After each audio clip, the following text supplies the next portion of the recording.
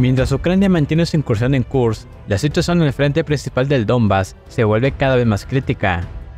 Este frente, la zona más fortificada de toda la guerra, ve cómo las posiciones defensivas ucranianas, preparadas durante años, caen una tras otra ante el avance ruso.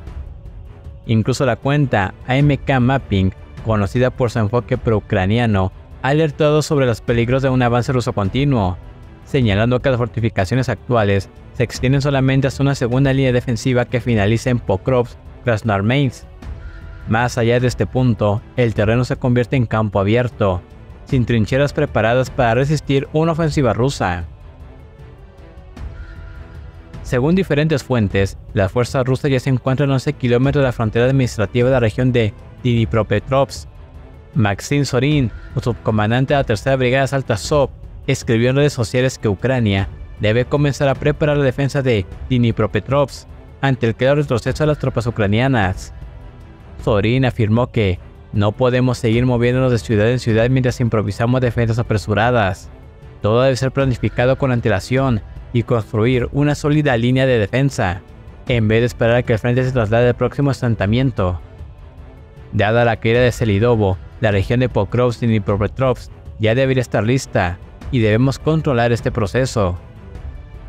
Desde el viernes 25 de octubre, Deep State informó que Selidovo estaba siendo inundada con tropas rusas, ejerciendo una fuerte presión mediante un movimiento de pinza que buscaba acercar la ciudad y concentrar tropas ucranianas en puntos críticos de defensa. Por la tarde de ese día, se reportó que las fuerzas rusas habían logrado entrar en la ciudad, aunque las tropas ucranianas lograron expulsarlas de algunas calles inicialmente. Sin embargo, la presencia rusa aumentó rápidamente, y para el domingo 27 de octubre, Deep State registró 15 asaltos rusos, empujando a fuerzas ucranianas más hacia el centro de la ciudad. La intención era que el cerco en Selidovo se extendiera a Hirnik y Bokoyalemka, creando un perímetro de seguridad para impedir el avance ruso y bloquear cualquier maniobra de flanqueo.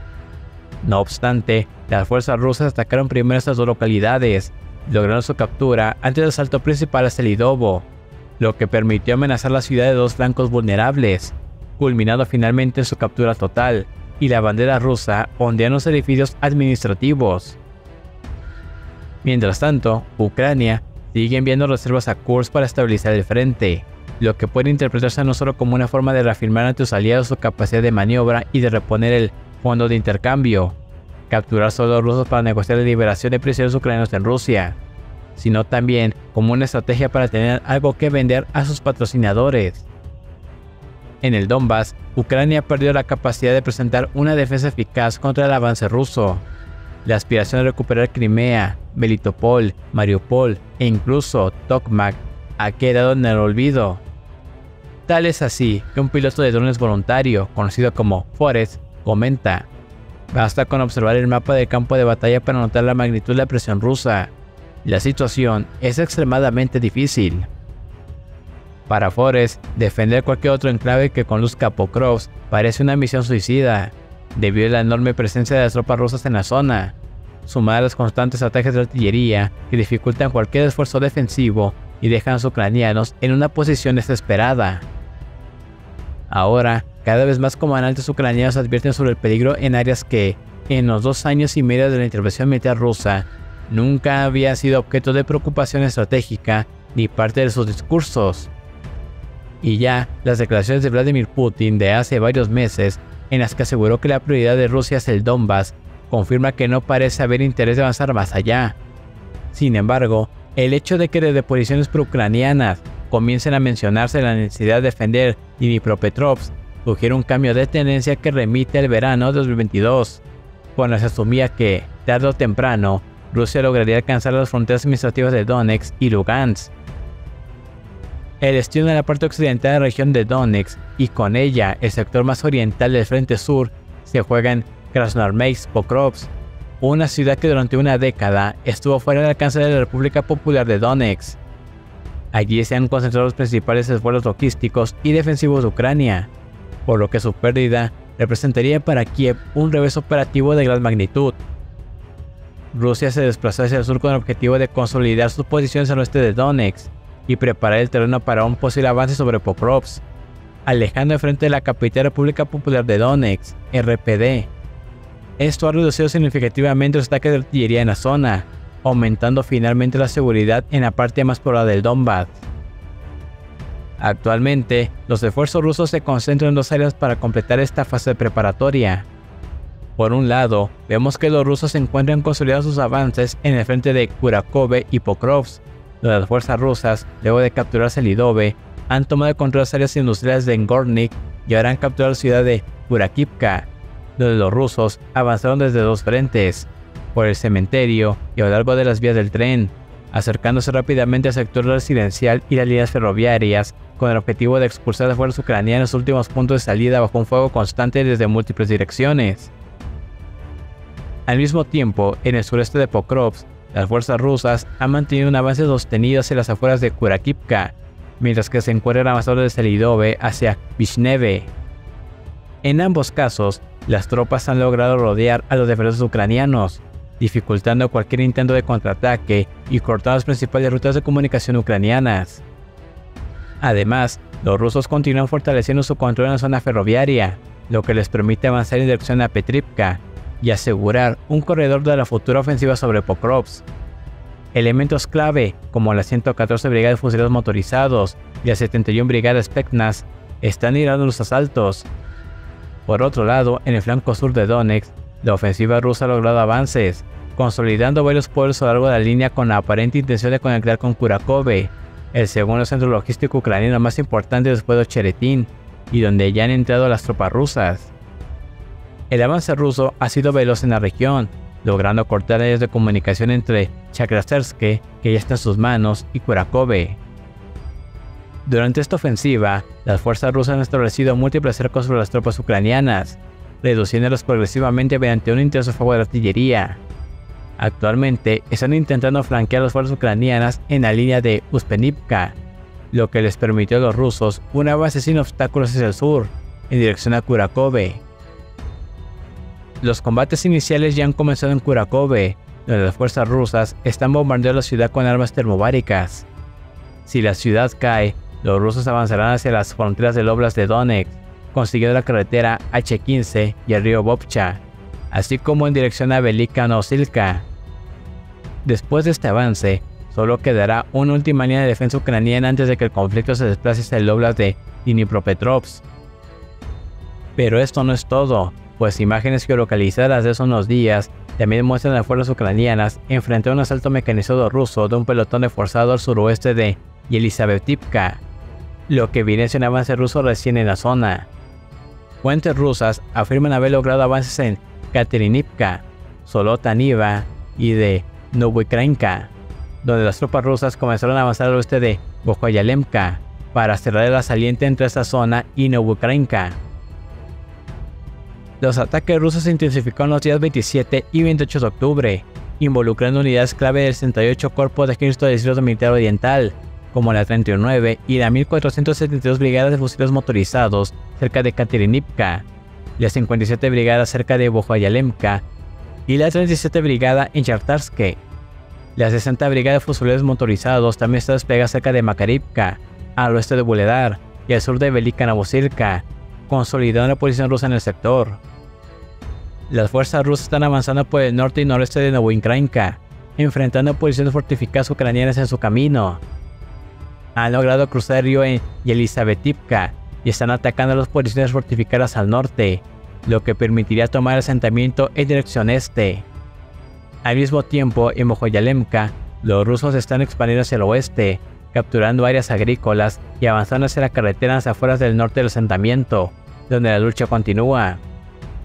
El avance en Novoinkrainka y Shakhtarsk, combinado con el control de posiciones estratégicas, podría permitir a la quinta brigada de tanques rusa aislar Velika Novosirka de Kurakove, cortando las líneas de comunicación directa y facilitando el avance hacia Yasta Poliana, Maximivka y Trudove.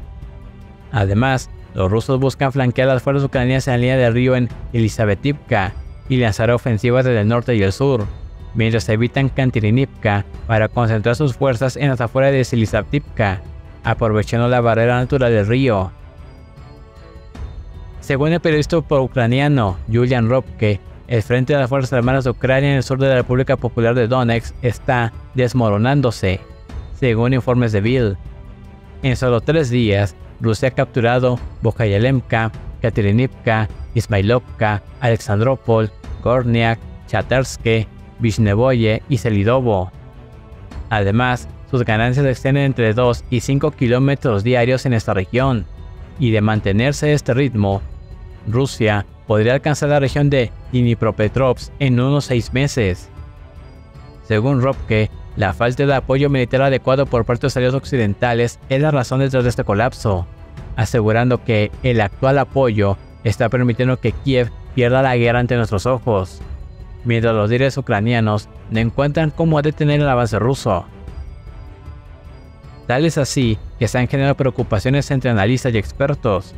Algunos, como el senador estadounidense por Ohio, otros de Vance, sugieren que Kiev debería sentarse a negociar con el Kremlin para buscar una solución real al conflicto. Vance, quien ha sido compañero político del expresidente Donald Trump, expresó que, aunque no apoya incondicionalmente al expresidente, considera que una nueva administración podría liderar las primeras conversaciones con Rusia. Su objetivo sería alcanzar un acuerdo que involucra a Kiev, la OTAN y Estados Unidos para establecer una paz duradera en la región. En una entrevista con NBC News, cuando se le preguntó si veía a Putin como aliado o enemigo, Vance respondió, es claramente un adversario, es un competidor. Para Vance, Putin actúa como cualquier político y no debe ser visto como enemigo de Occidente solo por sus políticas. El hecho de que no nos guste a alguien no significa que no podamos entablar conversaciones con él de vez en cuando, añadió. Vance aboga porque Estados Unidos y la OTAN consideran a Rusia como un competidor, similar a la forma en que los países europeos compiten entre sí, e insta un acercamiento dialogado con Moscú, sin buscar alianzas, sino simplemente una comprensión mutua. Según Vance, este sería el primer paso hacia un acuerdo que beneficie a ambas partes, sin recurrir a las armas. Si queremos poner fin a la guerra en Ucrania, debemos entablar algún tipo de negociación entre Ucrania, Rusia y nuestros aliados de la OTAN en Europa. Y eso es simplemente necesario, concluye Vance. Obviamente no todos piensan así, y Volodymyr Zelensky, en una parte de su plan de victoria, solicitó misiles Tomahawk con un alcance de 2.400 kilómetros, según The New York Times. Esta petición tiene como objetivo desplegar un paquete de disuasión nuclear en Ucrania. Sin embargo, un alto funcionario estadounidense, bajo anonimato, calificó esta solicitud como completamente inviable. En privado, varios funcionarios estadounidenses han expresado su frustración con el plan de Victoria Zelensky, considerándolo poco realista y dependiente casi por completo de la ayuda occidental.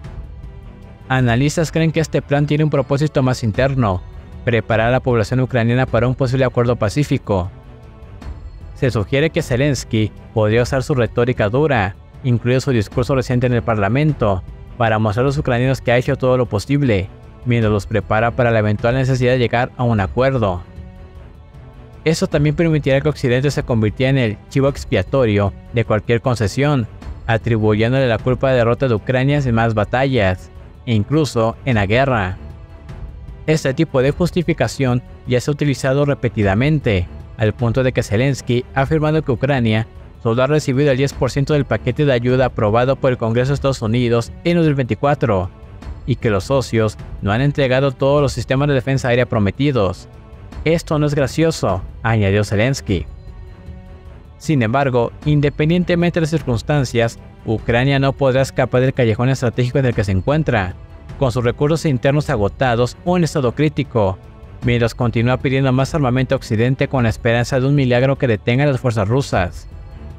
Según diversas fuentes, la Federación Rusa planea tomar el control total de la región de Donetsk, así como la ciudad de Kharkov, Dnipro y Zaporilla.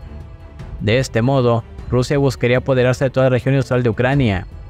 La inteligencia alemana sugiere que Putin pretende finalizar la guerra en 2026, y si bien es posible que se logre, aún queda por ver si la guerra se prolongará hasta 2026.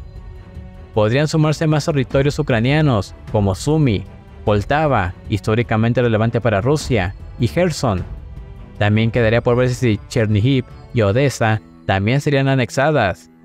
Y sea como sea, La estrategia de Rusia parece apuntar a la creación de una zona de amortiguamiento compuesta por territorios reconocidos internacionalmente como ucranianos, mientras convierte a Ucrania en un estado fuertemente industrializado en un país predominantemente agrario.